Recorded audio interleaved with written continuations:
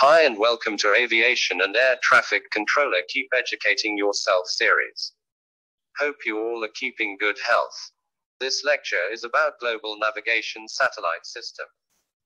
Global Navigation Satellite System, GNSS, is a general term describing any satellite constellation that provides positioning, navigation, and timing services on a global or regional basis. The USA's Navstar Global Positioning System is a military system that became fully operational for worldwide civilian use in 1995. Designed around a network of 24 medium Earth orbit satellites.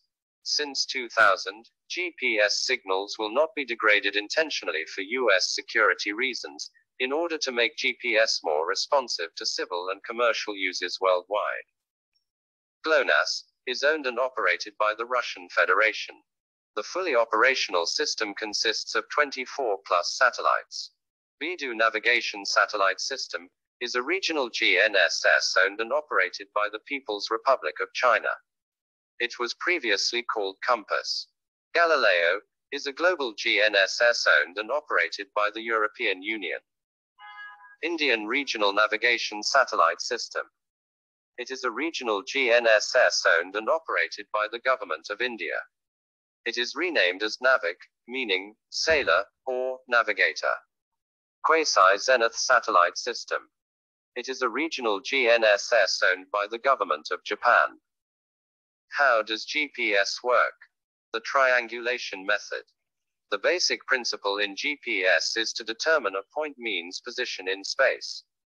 This is done by measurement of triangles. In practice, this involves determining the distances to at least three GPS satellites from the user's GPS receiver. When one distance is known, the user must be located on the surface of a sphere, with the satellite at the center and with a radius equal to this distance.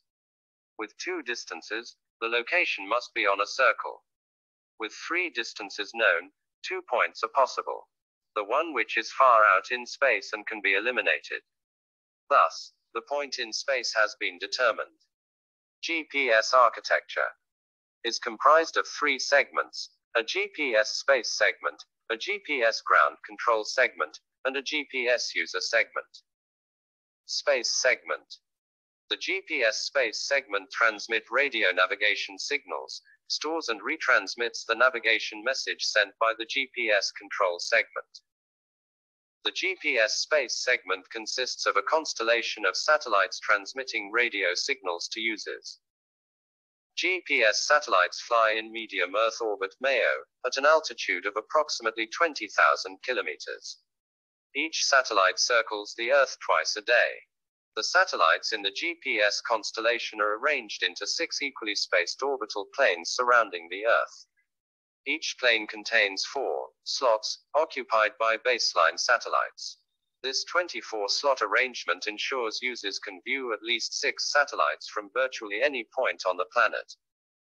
GPS signal structure GPS satellite transmits right hand circularly polarized signals to the Earth at two frequencies, designated L1 and L2.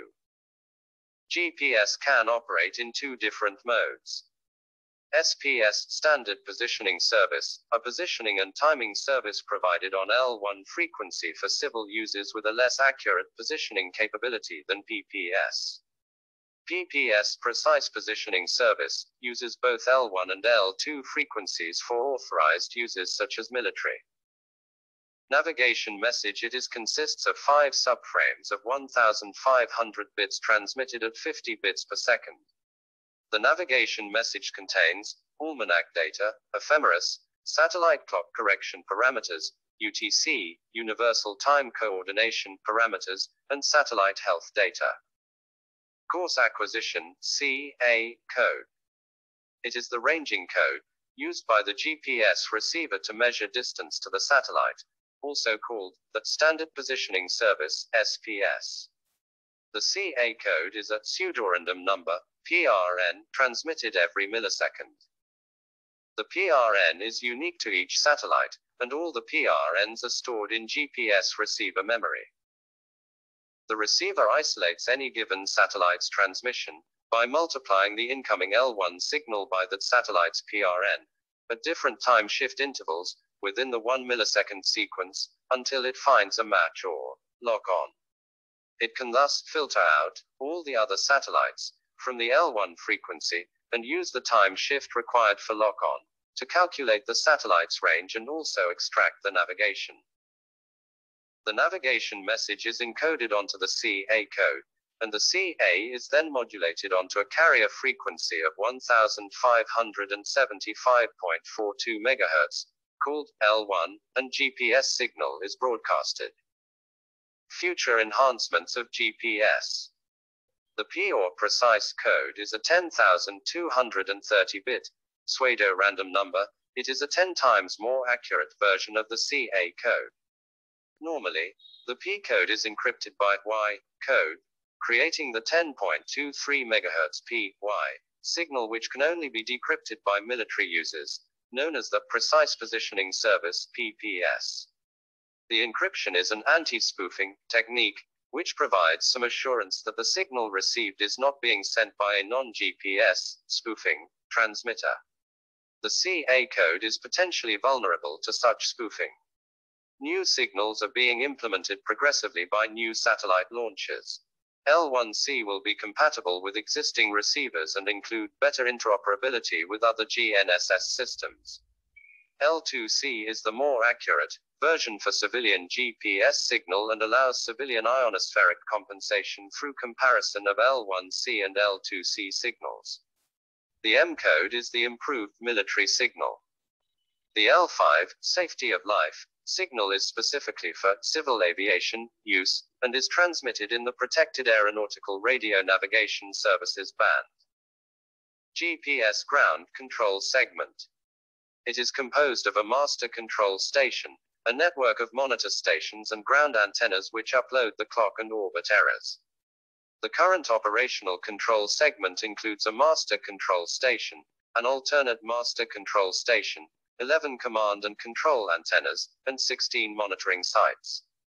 The main tasks of the control segment are managing SPS standard positioning system performance, navigation data upload, monitoring satellites, User segment. GPS user segment consists on the millions of receivers performing the navigation, timing or other related functions. GPS supplies three-dimensional position fixes and speed data, plus a precise time reference.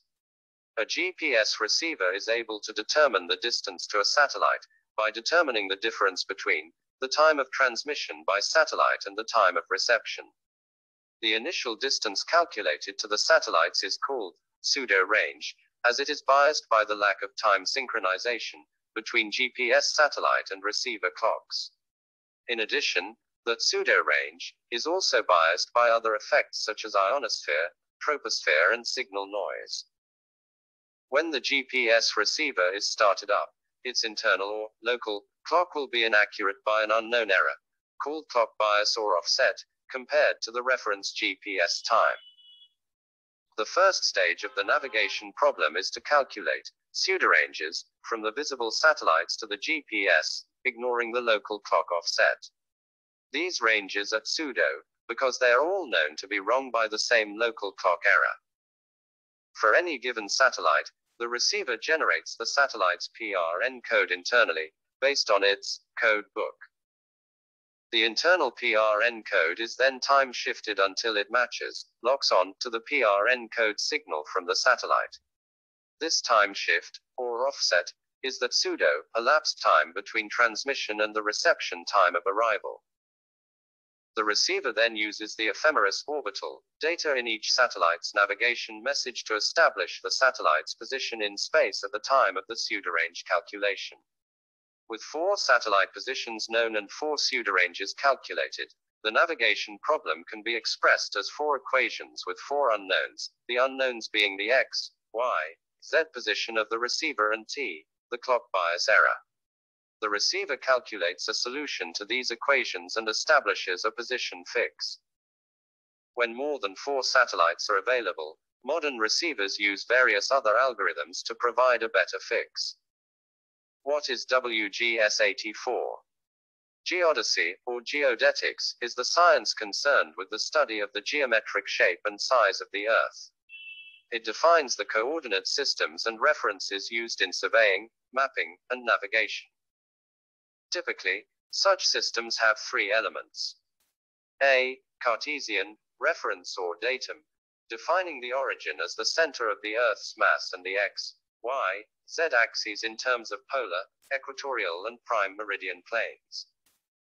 WGS 84 was selected as the datum for the GPS system and is now a fixed standard. In 1989, ICAO adopted WGS 84 as the standard aviation geodetic reference system. Aviation GPS receivers establish the aircraft's position in terms of the WGS 84 datum. The aircraft position is then used as the reference for the GPS navigation and map display. GPS integrity. Principles of RAIM. Receiver Autonomous Integrity Monitoring provides integrity over GPS only navigation. It is a technique whereby a receiver processor determines the integrity of the navigation signals. RAIM is achieved by consistency check among pseudo range measurements. When a sufficient number of satellites is tracked by the receiver, individual faulty pseudo ranges can be isolated. When the GPS receiver is fed with barometric altitude, the number of satellites needed for the receiver to perform RAIM function may be reduced by one. If RAIM is available, the GNSS receiver can assure the integrity of its calculated position within a specified protection limit 4 nanometer for oceanic, 2 nanometer for en route, 1 nanometer for terminal, and 0.3 nanometer for RNP approaches. GNSS receivers require a minimum of four satellites to establish a 3D position fix. However, if a satellite develops a fault and broadcasts an inaccurate signal, this could result in an incorrect position solution. A fifth satellite provides a GNSS receiver with the capability for fault detection FD. The receiver can recognize that a satellite is faulty, because the five range spheres don't all intersect at a consistent point. But, because any combination of four satellites might provide a valid solution, it cannot always identify which satellite is faulty. A sixth satellite provides a GNSS receiver with the capability for fault detection and exclusion FDE.